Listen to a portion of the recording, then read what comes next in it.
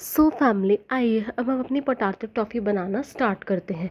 यहाँ मैंने लिया है वन एंड हाफ़ कप और वन एंड हाफ़ कटोरी मैदा, यानी कि ऑल पर्पस फ्लावर अब हम इसमें डालेंगे एक छोटा चम्मच, यानी कि one teaspoon chilli flakes chilli flakes is optional कि आप डालना चाहें, ना डालना चाहें, आपकी अपनी मर्ज़ी है।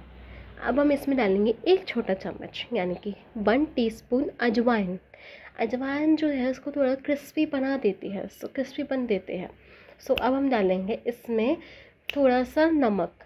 नमक बिल्कुल थोड़ा सा डालिएगा। अगर आपने ज़्यादा नमक डाल दिया तो इसका जो पूरा टेस्ट है, वो ख़राब हो जाएगा। उसमें बहुत ज़्यादा नमक सा लगेगा।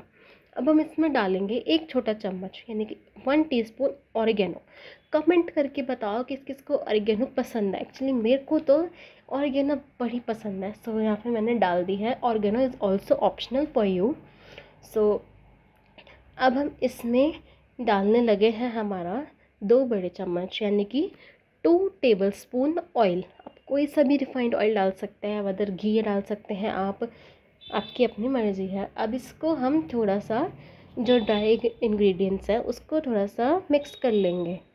हाँ उसको मिक्स कर लिया। अब हम थोड़ा धीरे धीरे पानी डाल के इसका आटा बिल्कुल वैसे गूंद लेंगे, जैसे हमारा समोसे का होता है या फिर पूड़ी से थोड़ा कड़क। अब हमें क्या करना है, आटे को टेन टू ट्वेंटी मिनट्स के लिए रेस्ट पे रखना है। सो यहाँ मैंने इसको ट्रांसपेरेंट शीट से कवर कर लिया है।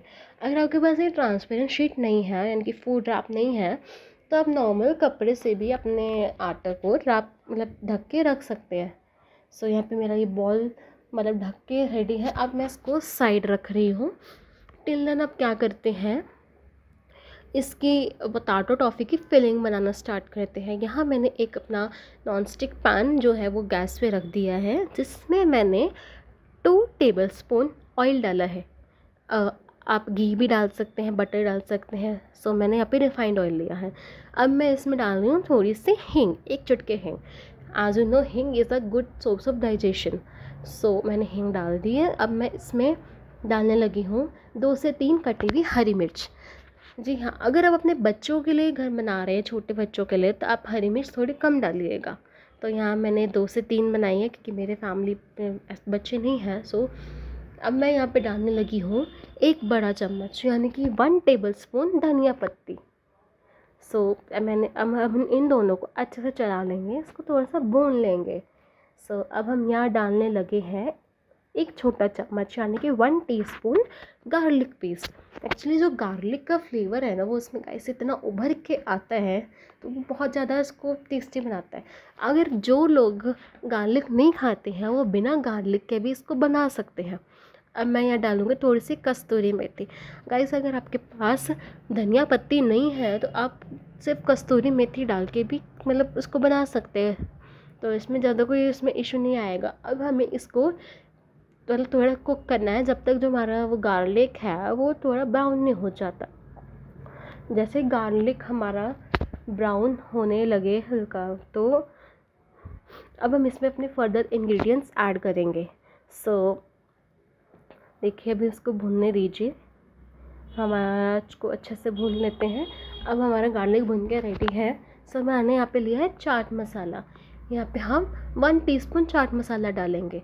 अगर आपके चाट मसाले में नमक काला नमक ज़्यादा है तो आप काला नमक की क्वांटिटी कम करना। यहाँ मैं ले रही हूँ वन टीस्पून कश्मीरी मिर्च। सो so, कश्मीरी मिर्च जो बेसिकली हमारी तीखी कम होती है ये हमारा बेसिकली कलर देती है।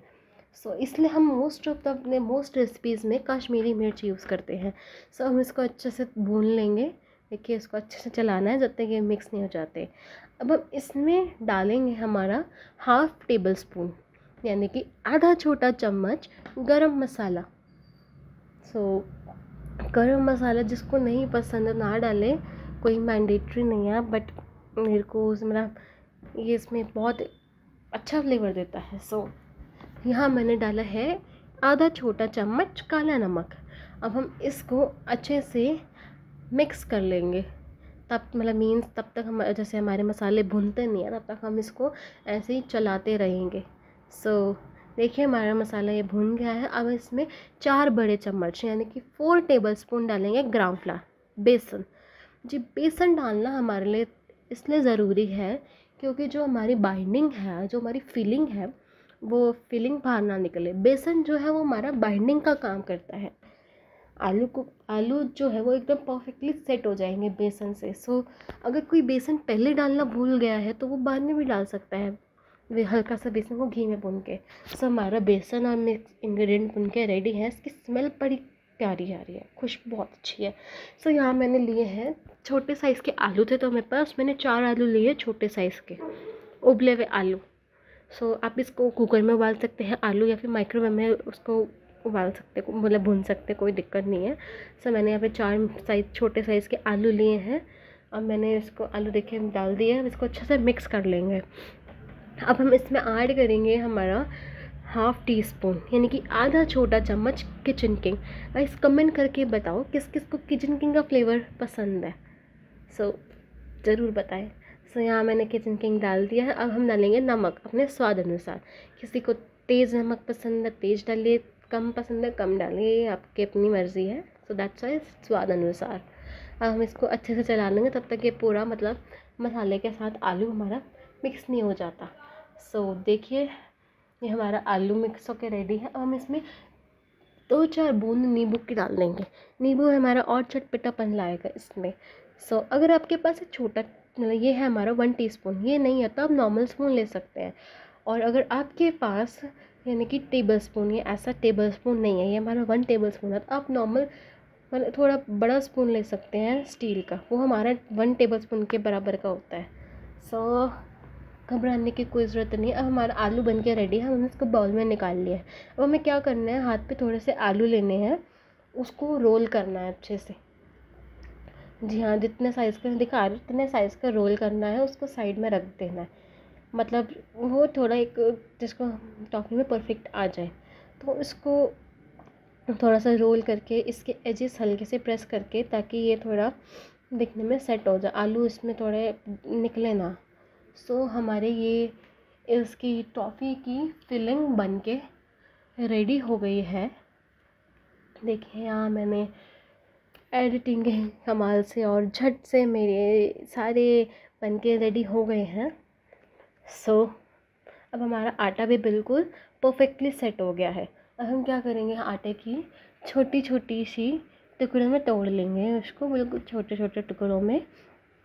अब उसकी छोटी छोटी टुकड़ों में तोड़ के उसके बाद में हम पेड़ियाँ बना लेंगे। उसका थोड़ा सा अपने हाथ से गोल करके उसको थोड़ा स्मूथ कर लेंगे। यहाँ मेरी पेड़ियाँ बन के रेडी है। अब हमें इसको बेलना है। बेसिकली इसको हमें ओवल शेप में बेलना है। हाँ क्योंकि हमें थोड़ा लंबा चाहिए, ध्यान रखें कि जो हमारा पेड़ा बेला बेलना है, उसको छोटा ना हो, थोड़ा बड़ा हो, ताकि हमारी जो टॉफ़ी की बिल्कुल परफेक्ट शेप आए। सो, यहाँ मेरा पेड़ा पता नहीं क्यों चिपक रहा था आगे नखरे कर रहा है थोड़ा। सो, मेरा ये छोटी पूरी बन के रेडी है। सो, देखिए मैंने यहाँ पे अपनी सारी पूरियाँ बना ली हैं। सो so, देखो अब बहुत नखरे कर रहे हैं। सो so, ऐसे ही मैं अपनी सारी वो पूरियाँ बना लूँगी। तो देखिए गाइस बन के रेडी है। अब हमने क्या करना है? एक नाइफ़ लेना है। नाइफ़ से हमें इसमें थ्री कट्स मारने हैं। लंबे cuts wait a second I will show अब कैमरे के सामने आपको दिखाती हूँ। देखिए ऐसे आपको इसमें तीन कट्स मारने हैं। जब हमने आलू के रोल बनाए थे छोटे छोटे उस आलू के रोल को आप इसके अंदर रख दीजिए और इसके कॉर्नर अच्छे से सील कर दीजिए आपस में। नहीं बिल्कुल ये सील कर दीजिए। और जो उसका एंड है, उसको अच्छे से प्रेस करके थोड़ा उसको वैसे टॉफ़ी की तरह शेप दे दीजिए। हाँ ये इसकी बिल्कुल ये परफेक्ट शेप आई है टॉफ़ी की। देखिए, कितना ब्यूटीफुल लग रहा है। सो so, ऐसे ही मैं अपनी सारी टॉपिक्स रेडी कर चुकी हूँ। गाइस आप पहले इसमें कढ़ाई कढ़ाई हमने गर्म करने रख दी थी। मीडियम फ्लेम पे आप इसको डालिए हाँ, उबलते तेल में।